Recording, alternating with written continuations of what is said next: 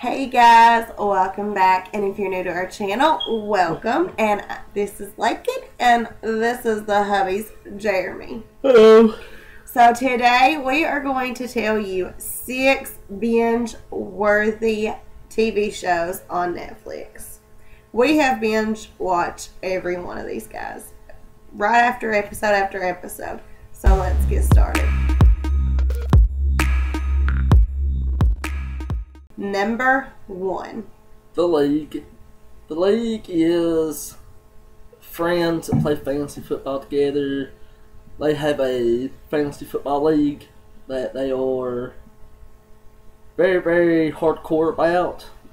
It's a very funny show. I mean, it's not it's not kid friendly. It's very adult.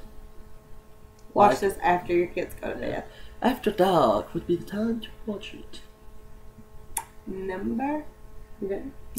Number two is SOA, Son of Anarchy. It is my favorite show of all time. This makes the second time I've actually watched it, and I can start over and watch it again. It is about Jax Teller. He is in this motorcycle gang, and he is just a bad honey, as you can say.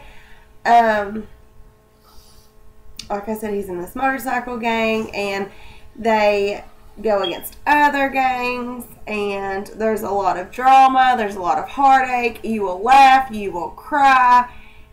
It's just a great show. From episode one, you will be hooked. Number three. Breaking Bad. Breaking Bad is about my man Walter White, aka Heisenberg, Heisenberg. And his little friend Jesse. They make meth. Also, a another adult show.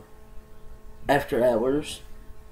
Um, it's really entertaining. Um, Walter White is a School chemistry teacher. He's a genius with stuff I have nothing to know about, but I mean he's really really smart. Um, who knows how to put battery acid into rat poison and make it blue? no idea. That's how you make meth. I do not know about meth. But anywho, it's a great show. Um, I mean, it's prob it's my favorite show. It's up there with SOA. It's really good. I mean, you should look at it, check it out. That's another show. You will laugh, you will cry. It is. It throws you some loops. So. Yeah. There's a turn in every season. There's a just a Walter White is the luckiest man on the face of the planet. Luckiest. So, guys, if you've never watched it, go watch it. I like it. Number four is PPL, Pretty Little Liars, guys, and it is awesome. And It's about these four. Well, they start out as four, but they turn into five best friends. Spoiler! Ooh! She spoiled it for you. They Or are. is there five? It starts out as four best friends, and they get these text messages from A, and they're battling to try to figure out what exactly is going on and who A is, and a lot of twists and turns in this. I promise you guys, you will not see the ending coming. Don't even try to guess it because you won't. No, no, yeah. Like, I, I love. I love Pretty Little Liars. I'm, I'm man enough to admit it. It is a great show. You will It's be great fashion in it. It's got great fashion. I don't have no You idea. will be hooked, guys. I just wish they would have made the person who was A a little bit more creative. Like True. no, like really A.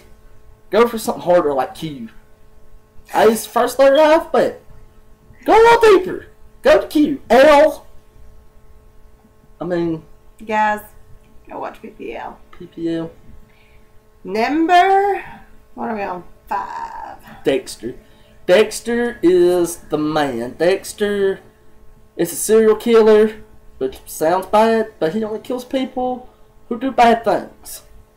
and he is a blood splatter analyst for the uh, Miami something. It's been a long time since we've watched it. He likes coffee. I like coffee. I'm not a serial killer though. I don't like not. I don't like blood. But anywho,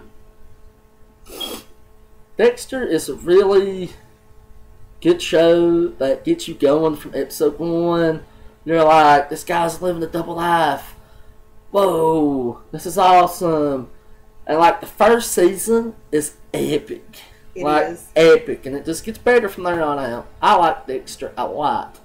I woke up at three thirty every morning before work, got ready for work, watched an hour of Dexter, and got to work before five thirty. Obsessed. We lost a lot of sleep when it came to binge watching Dexter. Dexter was terrible. Worst show by far. But we've lost more sleep ever. But we did get some good cuddles. Oh, That's Yeah. always a plus. my foot is asleep. So, number six, last but certainly not least, is Secret Life of an American Teenager. And this show hits home because we were teen parents. It's about this girl. She gets pregnant at 15, and it just shows you the struggles that you have to go through as a teenager. And there's a lot of twists and turns. Again, you will laugh and cry. Those are my favorite shows. I love to laugh. I love to cry. Just That's what I don't understand about I women. love to be They- mixed up. I don't want to laugh at everything. I don't I want to don't. cry about I, everything. see, I don't get that, guys. Women, answer this for me. You love watching TV that makes you cry. You love watching dramas on TV.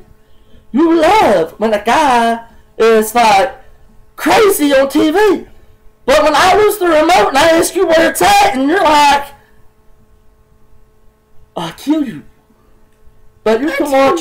You can watch like two guys fight over a girl on TV and be totally satisfied, or a girl who is 11 have a baby, put it up for adoption, three years later find a baby, fall in love. I don't know. I don't know. I'm not a woman. Hey, let's be honest right here because, as I said, we keep it real up in here.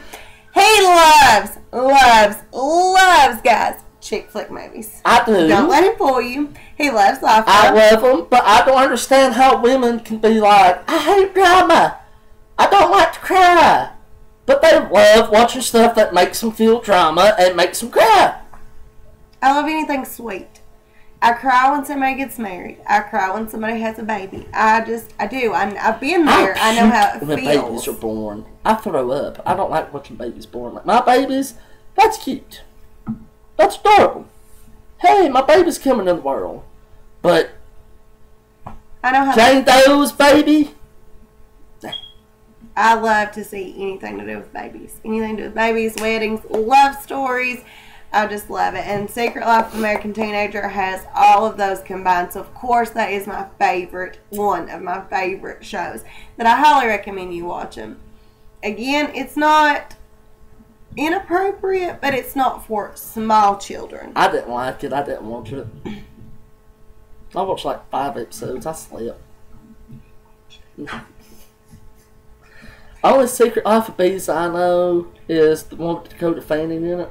Is that We're not talking about Secret Life of Bees. We're talking about Secret Life of American Teenager. Oh, whoops. My bad. Do you see what I go through? Oh, my foot's so asleep. talking about Secret Life of American Teenager to Secret Life Crazy. But yes, guys, to sum it up, those are our six Netflix binge-worthy Go movies. watch them. Give Go them a try. So we're gonna recap it. Number one was The League. number two. When she points at me, I'm supposed to talk.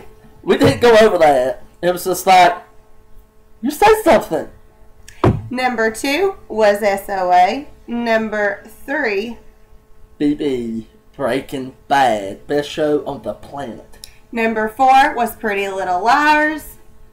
Number five was Dexter. And number six was Secret Life of American Teenager. I gotta say, Dexter's so good. We named the cat after it. We did have a cat named Dexter. We named the cat Dexter. and he was a very good cat, but He was something orange. happened to him, and He was orange. I don't know. He's a serial killer cat. Just like Dexter on TV. But he didn't drink coffee, he drank milk. Alright, guys. I hope you guys had fun. We had fun making it.